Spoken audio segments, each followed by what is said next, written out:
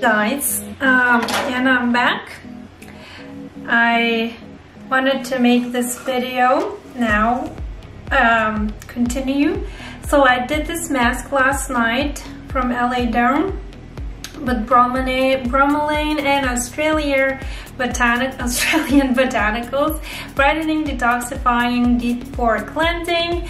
It is a clay mask so it's gonna melt and destroy those um, you know, uh, dirty residues, debris, um, sebum in the pores that just don't look nice and can cause breakouts. I could see myself using this once a week. It did not irritate my skin, did not cause any breakout, did not like itch, made it feel weird. It did kind of made it dry for a little bit then I put toner and moisturizer and did not dry out skin at all. But it is kind of you know dry while it's drying it's pulling that uh, gunk out. So it's gonna feel a little dry but does not have fragrance not tested on animals. Oh the other two products I liked as well I tested the glycolic face wash anti-stress uh, once a week. Uh, this is a foaming wash, um, which was a little bit tingly, but nothing major. Um, sometimes chemical exfoliants just are like that. And I also had a peel two weeks ago, so I think my skin was a little bit sensitized. But I saw a nice exfoliation after using it and uh, then the other product was Luminous Silk Brightening and Smoothing Serum, which is actually my new favorite.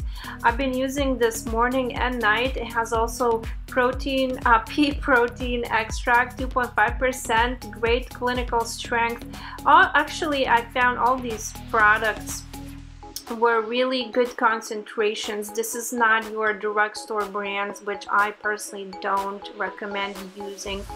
These were all three quality products and I would say everyone should have a nice, um, uh, you know, chemical exfoliant, uh, detoxifying mask and something hydrating like this Luminous serum, brightening, smoothing, anti-aging.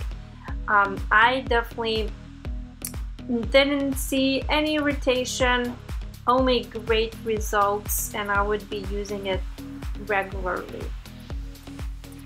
And of course I use my Brilliant Bakuchiol and a couple other PCA products but I believe we should have a couple masks, couple serums we can rotate with depending what our skin needs at certain times and a variety is the spice of life all the reviewing all three products I would buy again the glycolic face wash niacinamide 10% serum and this bromelain mask is great if you want to check out other videos see aesthetics or massage do so uh, I'm on Instagram as well at Jolita Brilliant. Also, I would appreciate if you smash the like button and subscribe. Leave any questions or comments down below and hope you have a brilliant day.